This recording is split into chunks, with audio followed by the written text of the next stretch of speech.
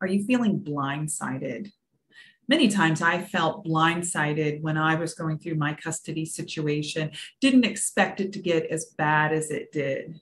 And I had nobody to find to to reach out to yeah i had families and family and friends who understood but they didn't know where to send me and what to do and a lot of times there are calls, there's crisis lines that are out there of people on the other end of the phone who deeply understand and they're very compassionate to your plight.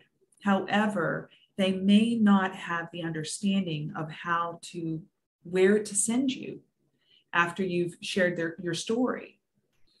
Now, our coaches on our Hope Line have been trained, highly trained. Many of them are paralegals, family mediators, mental health counselors. Um, and sometimes they're just, they've been targeted parents, just like you.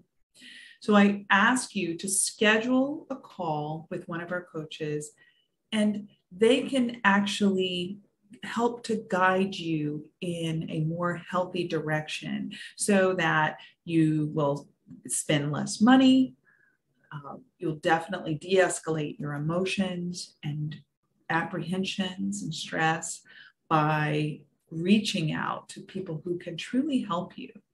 And they have nothing to gain other than knowing that they've made the world a better place by helping you. So please schedule your call today.